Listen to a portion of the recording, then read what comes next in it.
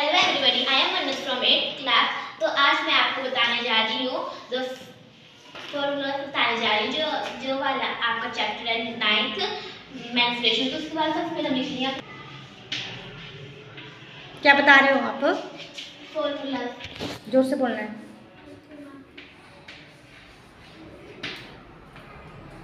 ये हमारा चैप्टर है इसकी इसकी करेंगे फॉर्मूला तो तो इस चैप्टर के लिए आपको इस चैप्टर में आपको फ़र्स्ट फॉर्म आएगा। एरिया ऑफ़ ट्रेपेजियम तो एरिया ऑफ़ ट्रेपेजियम होता है हाफ़ ज़ोर से। Half multiply height bracket A plus B ये होता है आपका फॉर्मूला ये होता है आपका एरिया ऑफ़ ट्रेपेजियम अब सेकंड आता है आपका area of rhombus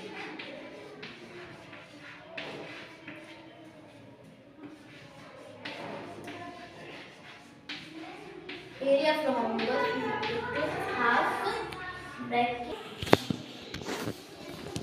surface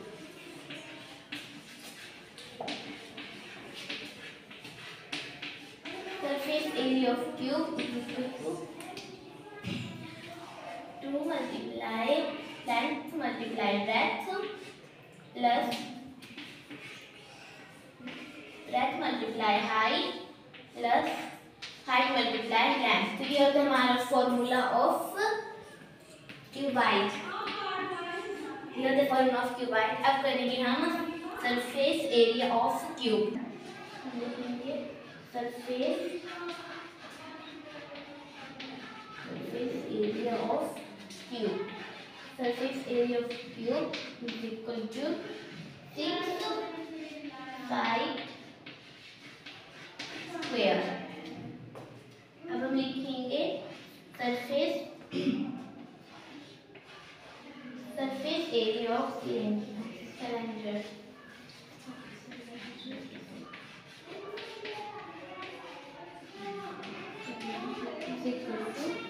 2 pi r bracket r plus h.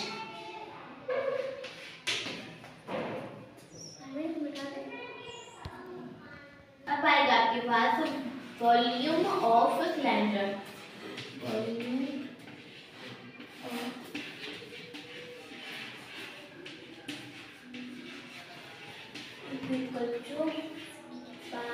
r square h.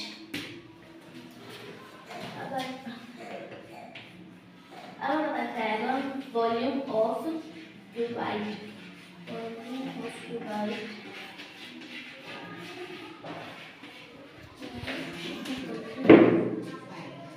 L multiply breadth multiply height. अब